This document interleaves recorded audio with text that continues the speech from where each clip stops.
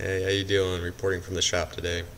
I want to do a little product review on um, Sparrow's Mace picks. These are pretty nice picks. They're uh, small, they fit in your wallet.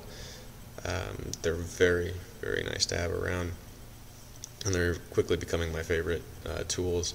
So um, when you go to buy uh, the Mace picks, there's the Mace picks and Mace um, expansion. So with your regular ones, see if you can see that you get these are really small, really nice. You get uh, a rake and you get a standard pick. Pretty cool designs, and these designs come in really darn handy. So if you look at it, one of them is cut out for a top of the lock, so you can use as tension wrench, and then you got another one that's just your regular tension wrench. If you get the regular set, it comes with uh, a bunch of standard tension wrenches, which is nice. But if you go and you get the expansion set, which I highly recommend, you get um, two more rakes so you can see there there's two more rakes and then you also get really nice uh, tension wrench that goes with it. So you got your top of the lock and you got your standard. So um, let's demonstrate the top of the lock and demonstrate these picks so that's your standard way of looking at a lock. We're going to hold it upside down we're going to take the cutout part and just kind of pop it in the bottom.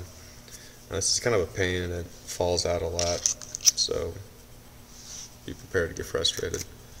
Oops. So everything's upside down. And get used to that because doing the top of the lock, that pops out a lot. There's not a much not much room in there to, to work around. Part of the reason why I'm sitting down. Otherwise I'd be bending over all the time picking it up. Okay. Oh, there we go, jeez. Pretty quick. And that was just with a rake and uh, doing top of the lock. So another thing when you're trying top of the lock, you can look in there, is that you can see, there's the pen, so you don't have a lot of room. That's your very first pen, if I remember right. One, two, three, four. So it's only a four pin lock. It's a cheap one. It's that easy a lock that you can just stick it in there. Hey, come on now. Pop it open. Speaking of which, I'd like to show off something I made.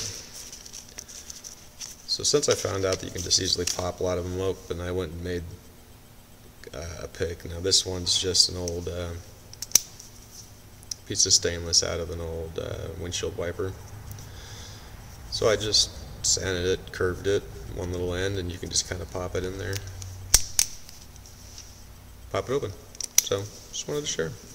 Hope you enjoy.